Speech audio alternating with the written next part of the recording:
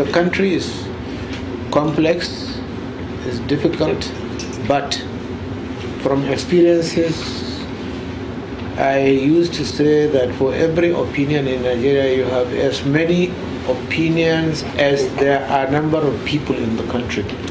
So that's what Nigeria is, is a very vibrant society.